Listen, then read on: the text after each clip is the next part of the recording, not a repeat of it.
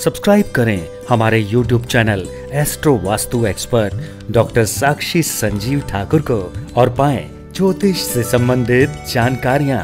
साथ ही bell icon को दबाना ना भूलें। राधे राधे दर्शकों, मैं साक्षी ठाकुर, कैसे हैं आप लोग? आज जो है मैं आपको बताने आई हूँ क्योंकि हम लोग सीरीज़ शुरू कर रहे हैं और वो सीरीज़ जो होगी वो दो मिनट में कैसा रहेगा आपका आने वाला महीना आने वाला मंथ किस प्रकार से रहेगा उस पर हम चर्चा करेंगे। लेकिन मेरे बहुत सारे दर्शक जो हैं जो मेरे भोले भाले प्यारे आदित्य परिवार के दर्शक हैं उनको यही नहीं पता है कि उनका कौन सा लगन है और उनकी कौन सी राशि है। क्योंकि ये चीज़ जो एक क्वेश्चन है मेरे पास बहुत सारा बहुत सारे लोगों के कमेंट्स में पूछते हैं कि हमारा लगन कौन सा है हमारी राशि कौन सी है। हम लगन से राशि फल देखें कि हम ल, ल, जो है राशि से राशिफल देखें तो हम कैसे देखें? तो मैं आज आपको एक बताने जा रही हूँ, देखिए। ये मेरे पास पेपर है और देखें आप इस पेपर में, ये देखिए, तीन नंबर यहाँ पर लिखा हुआ है, तीन। यहाँ पर तीन नंबर लिखा हुआ है, अगर आपका लगन, अगर आपका लगन जो है यहाँ पर आपके जो फ़र्स्ट हाउस, जिसको हम बोलते हैं ये जो आपका ये ये जो ये ये हाउस है जहाँ से शुरू हो रहा है, शुरुआत जो हो रही है, जो आपकी कुंडली अपनी अपनी खोल लीजिए और जो आपके यहाँ पर फ़र्स्ट हाउस में जो नंबर लिखा होगा, वही आपका लगन होता है। जी हाँ फ़र्स्ट हाउस में जो नंबर लिखा होगा, वही आपका लगन होता है।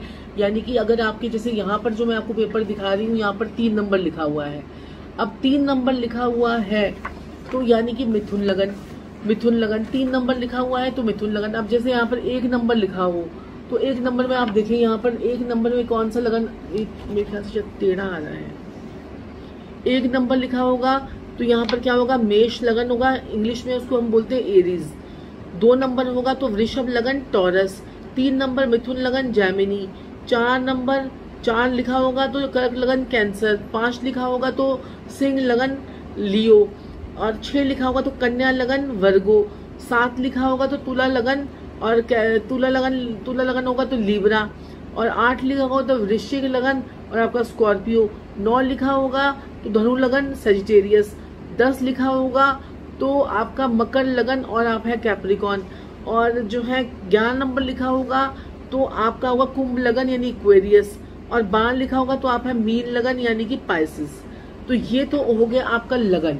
लगन से मैं हमेशा आपको बताती हूँ और जो मेरी अभी सीरीज़ आ रही है, वो मैं आपको लगन से बताऊँगी कि आपका मेष लगन है तो आपका दो, आपका जो आने वाला महीना दो मिनट में किस प्रकार से जाएगा, वो दो मिनट में आपको बताऊँगी कि आपका आने वाला महीना किस प्रकार से जाने वाला है। तो वो मेरी सीरीज़ को ज़रूर सुनिएगा।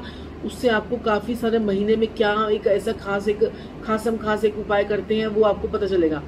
लेकिन जो है, अगर आपको कुछ नहीं समझ में आता है, अगर आप राशि से कई लोग कई लोग लगन से बताते हैं राशिफल, कई लोग राशि से बताते हैं। अब राशि भी सुन लीजिए किस प्रकार से देखी जाती है। आप लगन तो आपको समझ में आ गया कि तीन नंबर लिखा है तो ये मिथुन लगन है। अगर यहाँ पर आपके पूरे ये बॉक्स के अंदर, पूरे चार्ट के अंदर चंद्रमा भी तो कहीं ना कहीं बैठा होगा तो जैसे अगर चंद्रमा आपका छह नंबर में बैठ जाता है, ये देखिए, चंद्रमा आपका ये छह नंबर में बैठ गया, छह नंबर में चंद्रमा बैठ गए देखिए चंद्रदेव छह नंबर बैठ गए। तो इसका मतलब आपका जो राशि है वो राशि है आपकी, कौन सी राशि छह नंबर की है? देखिए, कन्या राशि, वर्गो वाले हैं आप, ठीक है? वो आप वर्गो हैं। उसके बाद जो है, लाइट चली गई। तो जो आपकी ये राशि आएगी ना, चंद्रमा चंद्रमा जहाँ पर भी लिखा होगा, वो आपकी होगी राशि। वो आपकी होगी राशि, यानी कि राशि कौन सी हुई? अब कन्या राशि होगी अगर चंद्रमा आपकी कुंडली में सात नंबर में लिखा है तो आपकी तुला राशि हो गई। अगर चंद्रमा की कुंडली में वृश्चिक राशि में लिखा तो वृश्चिक राशि हो गई। अब आप सोचेंगे कि गुरुमा जो है, आज जो है, हमें पढ़ाने लग गई हैं। तो आपको बताना चाहती हूँ कि पहले मैं टीचर थी। और जो है नर्सरी विंग जो है, मैं इंचार्ज थी नर्सरी विंग की जिंदल जिंदल पब्लिक स्कूल में। तो मैं वहाँ पर पढ़ाती थी। तो दर्शकों जो है, लेकिन मैं चाहती हूँ मेरे परिवार वालों को जो है ना एस्ट्रोलॉजी की नॉलेज होनी चाहिए, वो कोई किसी से बेवकूफ़ नहीं बने। जो मेरा आदित्य परिवार है, वो किसी से बेवकूफ़ नहीं बने। उनको पता होना चाहिए कि हमें जो एस्ट्रोलॉजर जो हमें बता रहा है, कुछ उसको कुछ आता भी है कि वो ऐसे बताया जा रहा है, मन से बताया जा रहा है। तो हमने मन वाले उपाय नहीं करने हमने तो काम करने अपनी कुंडली पे। कुंडली के उपाय करने हमने अपनी।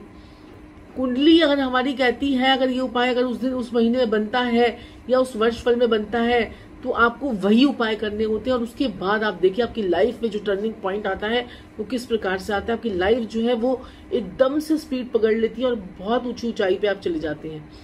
तो दर्शकों, अपना प्यार बनाए रखें और मेरी जो सीरीज़ है, कैसा रहेगा आपका जुलाई का महीना, वो दो मिनट वाला वो देखना मत भूलिएगा। और ऐसे ही अपना प्यार और अपना स्नेह जो है हमें देते रहें। हमें बहुत अच्छा लगता है बड़े हम मोटिवेटेड होते हैं। अगर आप हमें जो है अच्छे अच्छे कमेंट्स लिखते हैं तो मैं तो बहुत मोटिवेटेड होती हूँ। मुझे तो लगता है मेरे परिवार वाले जो है बड़े खुश हैं।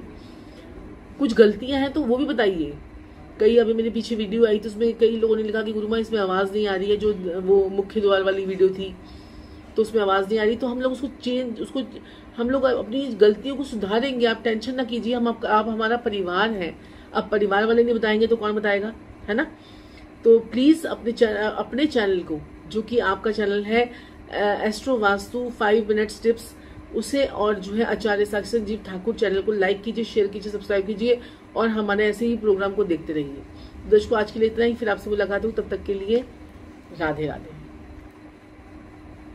आप हमसे डिजिटल प्लेटफॉर्म पर भी जुड़ सकते हैं। YouTube and Facebook Acharya Sakshi Sanjeev Thakur Instagram Aditya Kundli.